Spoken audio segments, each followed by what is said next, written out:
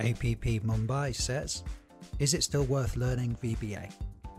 You can probably guess my answer to this comment. Of course, I still recommend Excel VBA. And this year I've had a few experiences that have actually firmed up my belief that Excel VBA is going to be useful for a long time to come. No doubt outside of Excel, there's some alternative platforms, but none as well established as Excel and none in the Microsoft Office suite. And then within Excel, there's other ways outside of Excel VBA to get things done, thinking about things like Power BI and Power Query. Now, if you're in the situation where you're solving problems yourself in Excel, you've probably got less of a need for Excel VBA because you can operate the Power Query uh, interface. You can set up that Power BI dashboard. But if you want to do what I would call the glory job, which is actually creating something for a client, handing it over to a client for a client to use, proper client work, then VBA for me gives us the best functionality, the most bespoke functionality. It's smooth, it's slick. Nothing gives the wow factor like Excel VBA. So if you want to work for customers like I do with Excel, creating Excel applications for me, VBA is still the way to go. Ariel Green says, This is not a database. Thank you.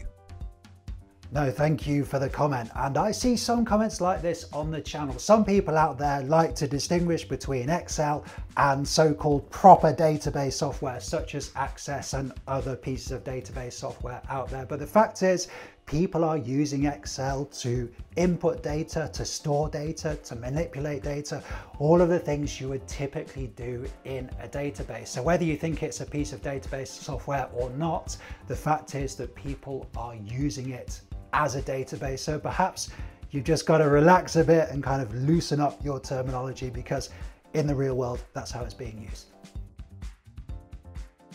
Archana Patel says, Sir, how to practice coding on our own? Is our own coding possible? Not only is your own coding possible, as soon as possible in your VBA career, you should be looking to create your own VBA applications. Why is this important? It's so important because it's a critical skill to be able to take all those coding techniques and translate them into real world applications. What can they actually do in the real world? And what are you waiting for? Are you waiting for permission? Are you waiting for permission from me or your boss or your teacher? I don't know. Go ahead and try to do it. So you might be thinking, but what applications? Well, what are you interested in? What are you working on? I'm interested in sport, particularly football. And as soon as I learned VBA, I became a bit obsessed with simulating football matches. So using random numbers, VLOOKUP and a probability table to simulate the number of goals scored. And eventually this application evolved into the offside game, which you can find on the channel. And I learned so much through working through this application that was really exciting to me. So my advice, don't wait for permission. As soon as possible, start working on your own Excel VBA applications. Cal L says, a month ago, I had no knowledge in VBA, but after working through your VBA for Beginners playlists and other playlists on the channel, I've become quite proficient with VBA, and now I'm handling all the routine and coding tasks in the office. I've applied everything I learned from the channel in very interesting ways. Your user form videos helps a lot in creating user forms that could be used outside the office. Thank you for all your great videos, and I hope to see more from you.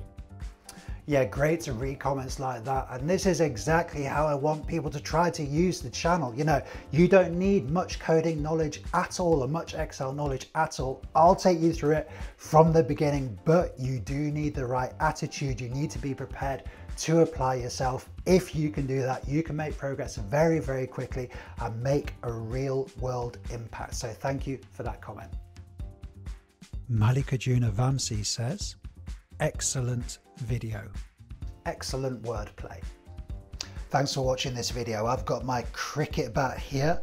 You're gonna see that briefly later in the video. This video is going out at Christmas, so why not treat yourself to a channel membership? Click the join button below this video for more, but channel membership is the only way to get a regular live stream from me. Members Monday, weekly live stream. I go through a member file, apply some techniques to it. Members watching along, you can interact with me and the members live. It's going to be a great way to push forward your Excel in 2020. Click the join button below this video for more. Let's get back into it. Ibrahim Ahmed says, what about the home button? Thanks for the great video. Well, thanks for watching. And yes, you're not the only person to point out that I omitted the code for the home button. All of these people have pointed it out as well, but you can find the code in a pinned comment at the top of this video.